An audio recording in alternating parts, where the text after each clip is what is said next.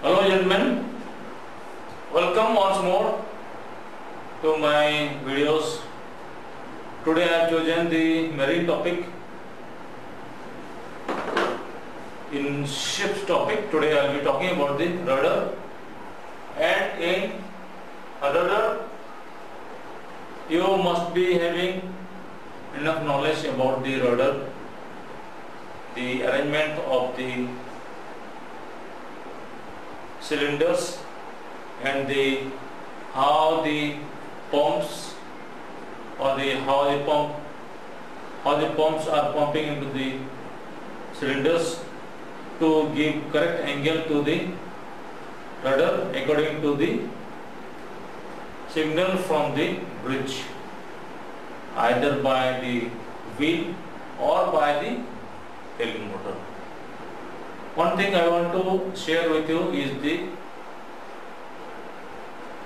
one maybe this form of the operation is obsolete but it attracts a importance in the design of the rudder system. That is the floating lever. Floating lever. What is this floating lever? It is actually a lever from this end to this end. It is connected to three points. One is the input input angle from the bridge at which the rudder should go either to port side or to starboard side. And the point of attachment is the feed to the pump. That means whether the pump should pump in one direction or the other direction. And when the pump should stop it is given by this attachment this connection. This is that is why applicable to the pump field. And other point is the point where it is connected to the rudder stock. And why it is called a floating lever is that as we will see further that if a certain input is given the say this input is given and now about which point the lever will turn obviously about the point at which the lever is attached to the rudder that means at about this point. Because about this point it cannot turn. It cannot turn the rudder. So rudder attachment is the strongest point. So it will automatically give a tilt angle about this attachment to the rudder. The pump will start pumping in direction so that the feed to the pump becomes zero. That means at that point no further pumping of the oil will take place so that the rudder comes to the required angle according to the input. That means now it will start pumping, the pump will start pumping and it will make the feed again to zero. So from this new point, from this point, again it will make the feed to this point. It will bring back the feed to the original point. That means how? Now the lever will be pivoted against the input point. Now the lever will be pivoted against the input point. So the rotor in either in this direction or in this direction according to the suitable connections made and again the pump field will have to be made to zero so that the pump so they so that the required angle is reached and pump stops to give more any any more fluid to the cylinders.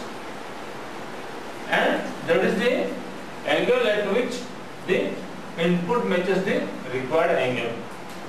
So we have seen is that sometimes it is the rudder stock at which the lever is pivoted of attached and in next time it is the input point or the telemotor signal point about which it is turning. So it has got two points of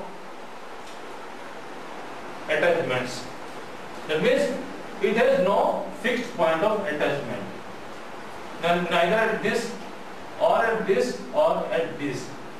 It is free to move in all three places. That is why it is called the floating lever. So let us see how it works. Supposing the lever was vertical like this with the solid lines shown. Supposing the input is given, this much input is given. So, what will happen? The lever will try to make an angle and rotate about the point where, it is attached to the rudder stock. So, about this. So, the new position of the lever will be this line. About this rudder stock attachment. So, it will be the this line.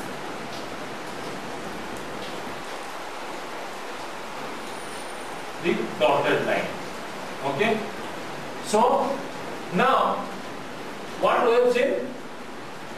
We have seen is that the pump has got now a field. At this point, the pump is supposed to be with zero field, and now the pump has got this much field. This much field. So the pump will start pumping and the rudder will turn either in either directions. So now what will happen? The pump has to pump in such a way that the rudder takes the position according to the input requirement and the pump field again comes to zero. That means the field has to be here again. That means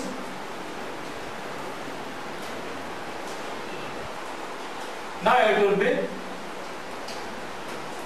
fixed about this point and the pump will be pumping in a direction so that the field will again come to this from this point to this point. So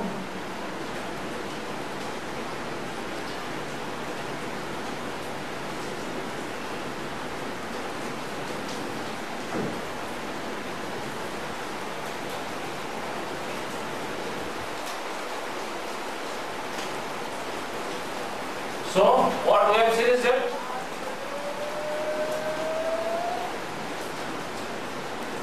now the bar is fixed about this point and two points are free the rudder moment and the pump feed. The pump feed is always free. Now the rudder moment is free and the pump start pumping in a direction so that the rudder stock feedback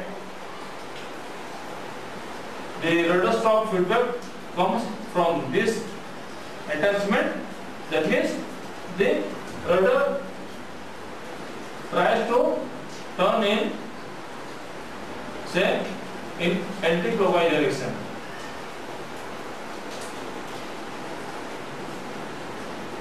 in the anti-clockwise direction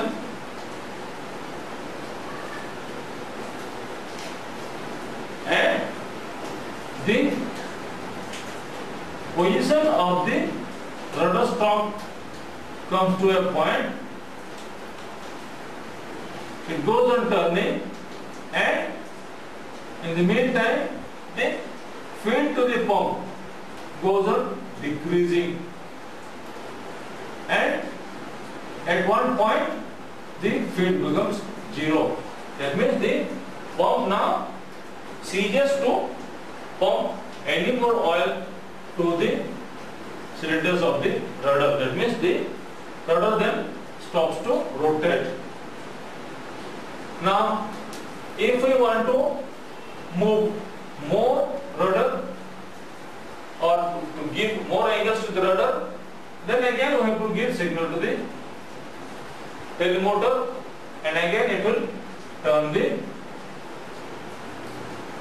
rod and the it will now this process will again repeat and the rudder will take the new positions.